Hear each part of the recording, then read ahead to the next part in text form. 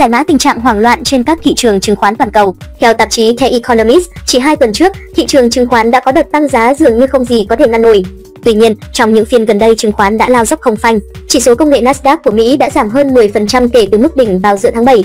Chỉ số Topix chuẩn của Nhật Bản đã ghi nhận mức lỗ lên đến hai chữ số khi giảm 6% chỉ riêng trong ngày mùng 2 tháng 8. Đây là ngày tồi tệ nhất kể từ năm 2016 và cùng với mức giảm 3% vào ngày mùng 1 tháng 8, là chuỗi hai ngày tồi tệ nhất của chỉ số này kể từ năm 2011. Giá cổ phiếu ở những nơi khác không bị ảnh hưởng quá nhiều, nhưng sự hoảng loạn đang lan rộng khắp các thị trường. Thước đo nỗi sợ hãi của phố Wall, chỉ số VIX, thước đo mức độ biến động dự kiến thông qua mức giá mà các nhà giao dịch phải trả để bảo vệ mình khỏi biến động này, đã tăng lên mức cao nhất kể từ cuộc khủng hoảng ngân hàng khu vực của Mỹ vào năm ngoái.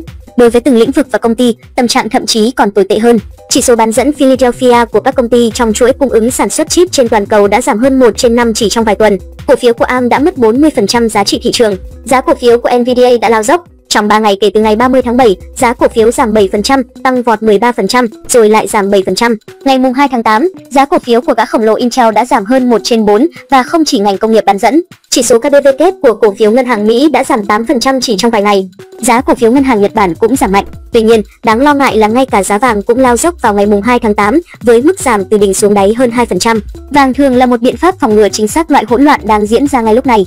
Việc giá vàng giảm cho thấy các nhà đầu tư có thể đã bán không phải vì họ muốn, mà vì họ phải nhanh chóng huy động tiền mặt để chuyển sang ký quỹ ở nơi khác an toàn hơn.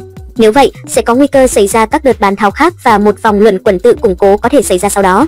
Ba diễn biến kết hợp đã đẩy các nhà đầu tư đến bờ vực. Đầu tiên là trí tuệ nhân tạo, AI, đặc biệt là ngành sản xuất chip cung cấp năng lượng cho AI đã có những kỳ vọng cao không thực tế. Biến động lớn nhất về giá cổ phiếu của Mỹ diễn ra trong khoảng 10 ngày mà năm gã khổng lồ công nghệ gồm Alphabet, Amazon, Apple, Meta và Microsoft công bố kết quả kinh doanh khiến các cổ đông thất vọng. Ngay cả cổ phiếu của Alphabet và Microsoft, những công ty có doanh thu vượt kỳ vọng của các nhà phân tích cũng giảm vào ngày sau khi các công ty này công bố báo cáo. Sự mất mát trên diện rộng cho thấy sự phấn khích trước đây của các nhà đầu tư đối với mọi thứ liên quan đến AI đang bốc hơi. Khi các công ty công nghệ vấp ngã, nền kinh tế Mỹ cũng vậy. Diễn biến thứ hai này khiến các nhà đầu tư phải chịu một đợt tấn công dữ dội. Cho đến gần đây, tin xấu là tin tốt vẫn là câu thần chú của thị trường. Bất kỳ dấu hiệu nào cho thấy tăng trưởng chậm lại hoặc thị trường lao động yếu hơn đều tốt cho giá tài sản. Vì điều đó có nghĩa là lạm phát có khả năng sẽ ở mức thấp và cho phép Cục Dự trữ Liên bang Mỹ, Fed sớm cắt giảm lãi suất. Nhưng vào thời điểm báo cáo việc làm của Mỹ được công bố ngày mùng 2 tháng 8, tâm trạng đã thay đổi, tin xấu giờ là tin xấu. Theo báo cáo, tỷ lệ thất nghiệp tăng lên mức cao nhất trong 3 năm là 4,3% vào tháng 7, trong khi nền kinh tế chỉ tăng thêm 114.000 việc làm trái ngược với dự báo đồng thuận trước đó là 175.000. Nói cách khác, nguy cơ suy thoái mà nhiều người nghĩ rằng đã tránh được vừa tăng lên.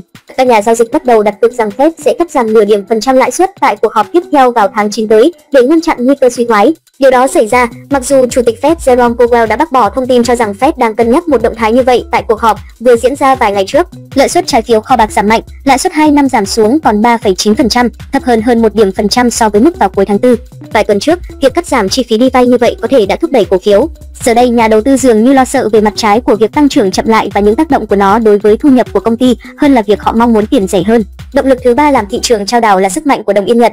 Trong những tuần gần đây, đồng tiền này đã mạnh lên so với rổ tiền tệ được tính theo tỷ giá thương mại với tốc độ gần như nhanh nhất trong hai thập kỷ.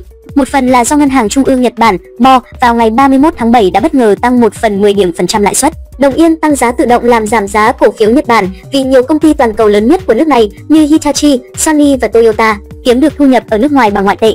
Một số sự sụt giảm của cổ phiếu Nhật Bản có thể được giải thích bằng hiệu ứng này. Tuy nhiên, có lẽ quan trọng hơn là việc tháo gỡ các giao dịch phổ biến liên quan đến đồng yên yếu và chính sách tiền tệ cực kỳ ôn hòa. Sự kết hợp của cả hai đã giúp có thể vay tiền giá rẻ bằng đồng yên, chuyển đổi số tiền thu được sang USD và đầu tư vào kho bạc, mang lại lợi nhuận cao hơn nhiều so với chi phí để trả nợ một giao dịch chênh lệch lãi suất.